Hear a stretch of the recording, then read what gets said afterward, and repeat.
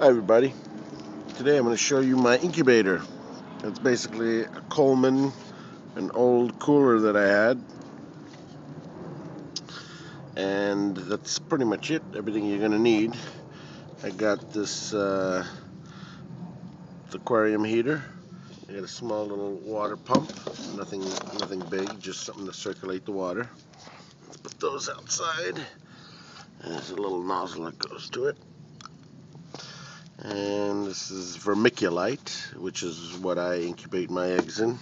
That's one tray. And there's the eggs from my old my other little dudes that popped out. My little dragons. And this they tell me don't save all this crap and luckily this was a grid from a fan one of those big box fans.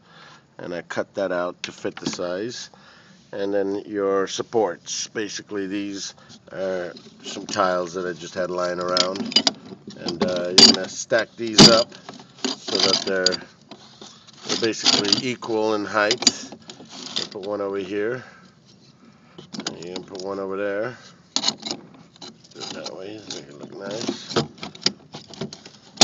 Okay, and these were stuck to the uh, the heater, little suction cups for the heater just to keep it down in the water and then basically your cooler you can put bricks if you want a chunk of brick anything to keep it above the water level.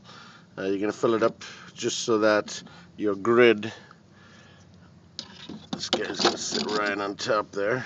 And you want your water, water level to be just below your grid um, of course before all that goes in. You cut a little slot right here for your electrical. And put your heater in there and I suction it to the uh, the tiles just so it doesn't come out. And then a little water pump right here.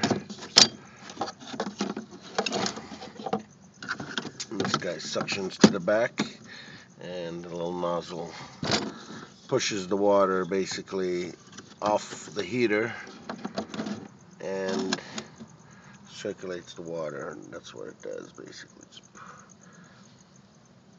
so you got your heater in. I set it uh, start low and work your way up. I set it to 70 something, 72. And depending on what you're breeding, of course, or what you're incubating, find out what the, the moderate temperature is for them and set it at that and work your way up. Uh, I also have external thermometers with probes and I have two, I have three of them actually um, just so that there's a base. Some of them might be above or uh, a little higher, a little lower, but that way you have a gradual, you know, all three of them can't be wrong. And that's pretty much it. You slide your electrical wires into here, slide them in there, just get them in there nicely, just tuck them in. And make sure not to damage them, of course.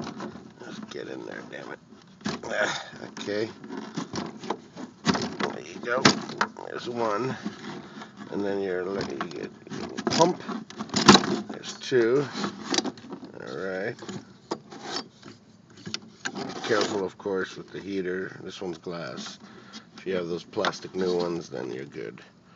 And that's the setup right there, basically. With water, you suction to the back. There's your little pump. There's your heater. You fill up some water grade in.